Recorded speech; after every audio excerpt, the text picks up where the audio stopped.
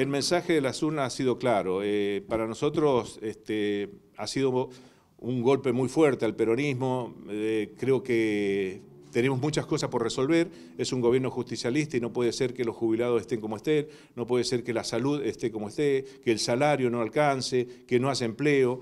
Es un gobierno que lleva dos años en el orden nacional y tiene mucho por corregir. Yo creo que la, ciudadanía ha interpretado eso y no, no, no lo llama un voto castigo, sino este, un tema que el ciudadano, el que fue a votar, eh, dice que después de la pandemia no estamos viendo, no le estamos diciendo que se puede mejorar la economía. Y la economía hay que prestarle mucha atención. Yo creo que en esta zona donde también ha sido castigado el justicialismo, ha, tenido este, mucho que ver la economía tenemos un alto porcentaje en desempleo y el desempleo castiga tanto como la salud. Este, hay gente que tiene las dos vacunas y no puede pagar la luz. Hay gente que tiene las dos vacunas y no puede llegar a fin de mes. Entonces ese voto también hay que, si no lo consideramos, si no lo analizamos para noviembre, va a ser este, una elección muy similar a la de ahora. El 18 de octubre hay una gran movilización del movimiento obrero por el empleo y por el salario justo. Yo creo que eh, empecemos a llamar todo un poquito la atención, no solo lo que pasó este domingo, sino todos los sectores.